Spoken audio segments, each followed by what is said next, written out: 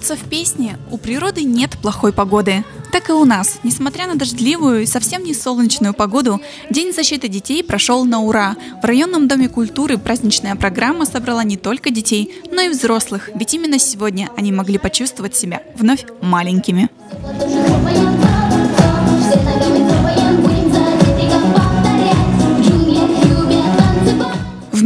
Веселыми гномами ребята вспомнили, что такое радуга и какие цвета в ней есть. Желтое солнце на землю глядит, желтый подсолнух за солнцем следит, желтые груши на ветках висят,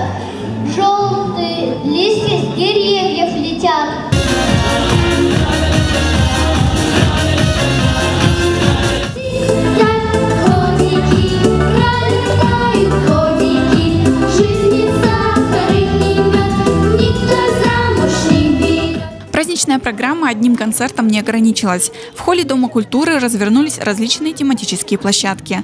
На одной была организована интересная фотозона с персонажами из сказок. На другой ребятам предлагалось выполнить задание на эрудицию.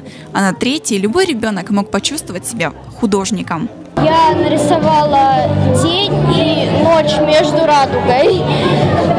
Я сначала хотела просто нарисовать радугу и поле, просто нарисовать. А потом разыгралась фантазия, и решила нарисовать тут ночь, тут день. Многих детей привлек аквагрим. Талантливые художники школы искусств рисовали на лицах ребят причудливые узоры и мордочки животных. Кошечка. А почему ты выбрала кошечку? А потому что кошка это мое самое любимое животное. Просто интересно стало, как нарисуют, как будет выглядеть на лице. Тебе понравилось? Да. А почему именно такой рисунок ты выбрала? Легкий, несложно, смыть будет легко. Мне сделали макияж, и мы с папой купили игрушку и сладкую, и сладкую вату. Праздник детства, смеха, улыбок и хорошего настроения. Здесь интересно не только маленьким ребятам, но и уже повзрослевшим, но все же детям. Я хоть и выросла, я люблю этот праздник, он так же, ну, как ребенок и есть ребенок.